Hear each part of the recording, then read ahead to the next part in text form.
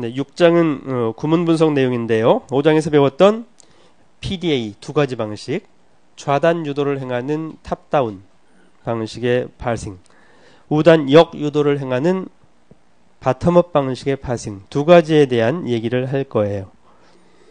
먼저 구문 분석은 어휘 분석 결과로 sequence of token number value들이 입력으로 들어오면 어, 여기서 얘기할 때는 지금 뭐 token number token value를 안 하고 어, 직접 토큰 하나씩을 A 더하기 A 곱하기 A 각각을 이렇게 어, 문자로 얘기를 했었는데 실제 구현할 때는 어휘 분석을 통해서 어, 각 token들에 대한 token number token value sequence로 입력이 들어오는 거죠. 그래서 이제 구문 분석기에서는 첫 번째 token을 가져와서 처리를 하고 두 번째 토큰, 세 번째 토큰 이렇게 left to right scanning이라고 해요. 항상 맨 왼쪽에 있는 토큰부터 가져다가 그 다음 그 다음 그 다음 순서대로 left to right scanning 방식에 의해서 어, 토큰들을 입력을 받으면 parser는 그 입력받은 어, token number token value 시퀀스들에 대해서 인식을 했으면 그러니까 이게 적합한 문장이면 그러면 parse tree를 생성할 수 있을 테고요. 어, 적합하지 않은 syntax error인 문장이 들어오면 에러 메시지를 출력하는 그런 기능이 파서에 하는 일이죠. 자, 두 가지 top, top-down bottom-up parsing 방법이 있었다고 했고요. 음, A는 XYZ라는 이런 생성 규칙이 있었을 때 이것을 어, top-down 방식은 시작 기호에서 시작해서 위에서 root node에서 leaf node 쪽으로 이렇게 확장해 나가는 그런 방식이었고 bottom-up 방식은 input sequence 입력 문장으로부터 시작 기호로 reduce 하는 그런 방식이었죠. 어, 먼저 파싱이 성공적으로 끝났을 때 파싱 결과를 출력하는 방법은 어, 세 가지가 있는데 먼저 left pass, right pass는 지난번에 얘기를 했었죠. left pass는 좌단 유도를 했을 때 적용된 생성 규칙들의 순서. right pass는 우단 역 유도 과정을 과정에서 적용된 생성, 생성 규칙들의 순서. 즉 우단 유도 적용했을 때 적용된 생성 규칙들의 순서를 거꾸로 뒤집어서 어, 그것을 right pass라고 했었죠.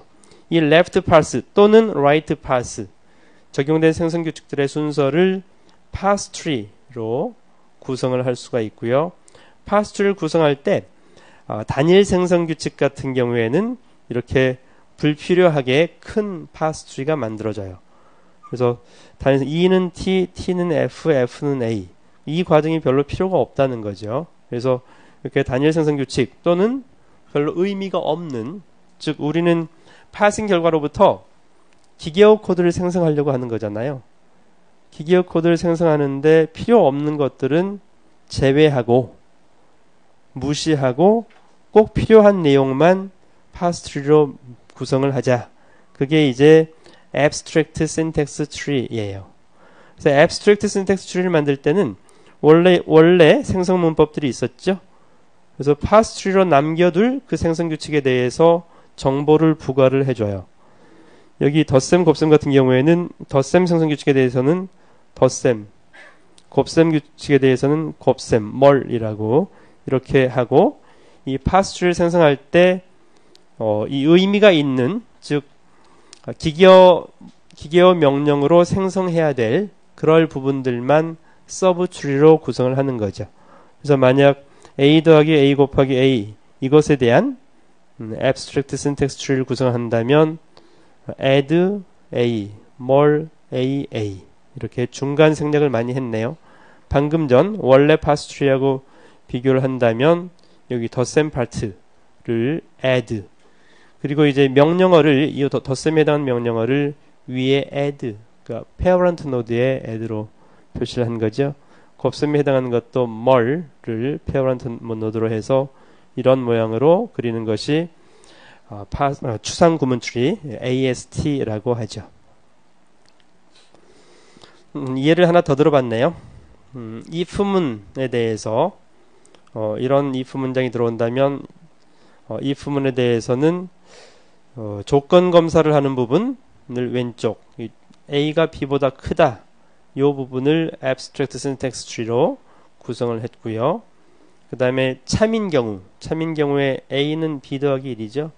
이 부분에 대해서 이 assignment B 더하기 1 덧셈 이 부분이 이제 예, 조건이 참인 경우고요. 조건이 거짓인 경우는 어, a는 b-2니까 이것도 어사인먼트 하나 있네요. a는 b 빼기 2 이렇게 abstract syntax tree를 구성할 수가 있죠.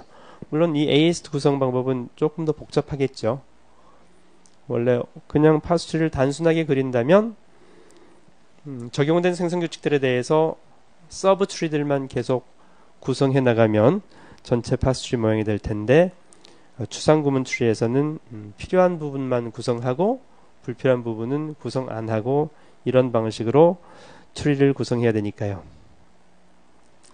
우리가 이제 parse tree를 구성했을 때 어, 그때 이제 실제 실제로 내부 자료 구조는 그 n-ary tree죠. child node가 두 개, 세 개, 네 개, 여러 개인 거잖아요. 근데 실제 우리가 자료 구조를 구성할 때는 binary tree 형태로 어, 구현을 해야 되기 때문에 첫 번째 child만 parent에서 어, child로 남겨놓고 두 번째, 세 번째, 나머지 n 번째 것은 첫 번째 child에서 right link로 해서 구현하는 이거 이제 binary 음, n-ary tree를 binary tree로 구성하는 그런 자료 구조에서 배웠을 테니까요. 그런 방식으로 실제 구현하면 되겠죠.